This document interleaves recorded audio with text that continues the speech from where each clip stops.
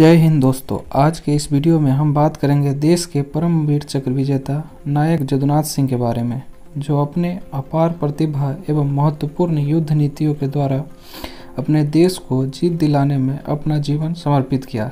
तत्पश्चात इन्हें मरणोपरांत परमवीर चक्र से सम्मानित किया गया। इनके पराक्रम को जानने से पहले थोड़ा इनके प्रारंभिक जीवन के बारे में जानना ज़रूरी हो जाता है। सिख का जन्म इक्कीस नवंबर 1916 ईस्वी को शाहजहानपुर के खजरी नामक ग्राम में हुआ था, जो वर्तमान समय में उत्तर प्रदेश का एक जिला है। वे एक किसान बीरबल सिंह राठौर और जमुना कंवर के पुत्र थे। वह छह भाई और एक बहन के साथ आठ बच्चों में तीसरे स्थान पे थे। सिंह ने अपने गाँव के एक स्थानीय स्कूल से चौथी कक्षा तक की पढ़ाई की, लेकिन अपने परिवार की आर्थिक स्थिति ठीक न होने के कारण वो आगे की शिक्षा जारी न रख सके। वे अपना अधिकांश बचपन खेत की आसपास कृषि कार्य में अपने परिवार की मदद करने में बिताया। उन दिनों मनोरंजन के लिए कुश्ती किया करते थे। अंततः अपने गाँव में कुश्ती चैंपियन बन गए। उनके चरित्र एवं भलाई के लिए उन्हें हनुमान भक्त, बाल ब्रह्मचारी उपनाम भी दिया गया। यह एक हिंदू देवता हनुमान से जुड़ा हुआ है, जो जीवन भर अविवाहित थे सिंह ने जीवन भर अविवाहित रहने का फैसला किया। द्वितीय विश्व युद्ध के दौरान सिंह 21 नवंबर 1941 को फतेहगढ़ रेजिमेंट सेंटर के में ब्रिटिश भारतीय सेना में सातवीं राजपूत रेजिमेंट में शामिल हुए। अपना प्रशिक्षण पूरा करने के बाद उन्हें बटालियन में तैयार किया गया। 1942 के अंत में बर्मा अभियान के दौरान बटालियन को आराकान प्रांत में तैनात किया गया था, जहाँ उन्हें जापानियों के खिलाफ लड़ाई लड़ी। बटालियन सैंतालीस इन्फेंट्री ब्रिगेड का हिस्सा थी, जिसे चौदहवीं इन्फेंट्री डीप को सौंपा गया।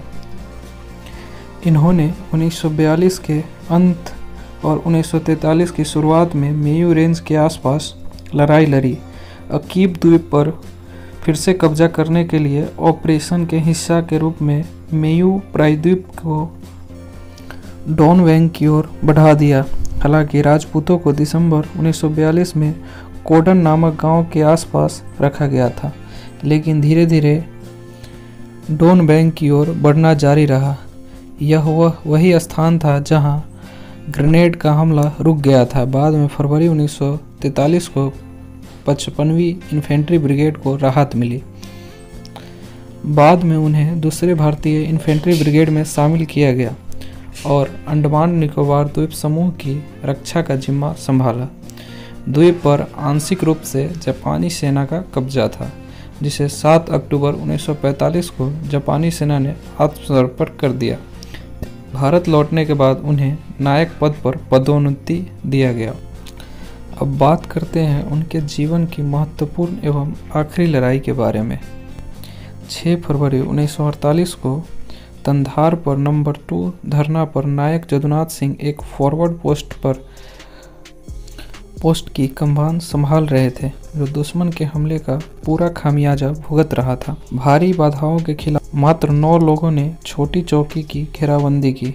दुश्मन ने इस चौकी पर घेराबंदी के लिए लगातार हमला शुरू कर दिया। पहली लहर के एक उग्र हमले में चौकी तक पहुँच गए। सिंह के नेतृत्व के महान पराक्रम और शानदार गुणों का प्रदर्शन करते हुए छोटे बलों का इस्तेमाल किया।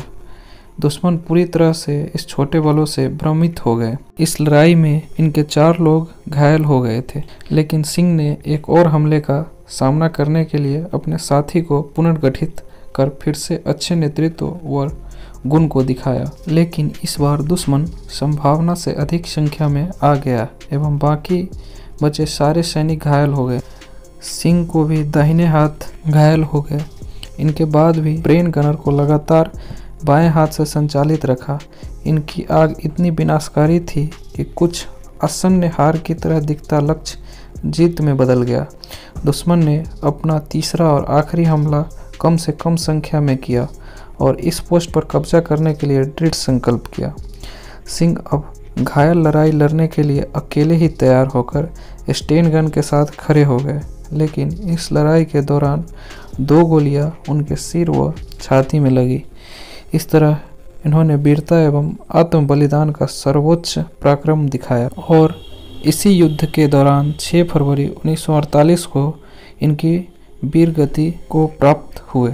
तत्पश्चात उन्हें भारत के सर्वोच्च सैन्य सम्मान परमवीर चक्र से सम्मानित किया गया।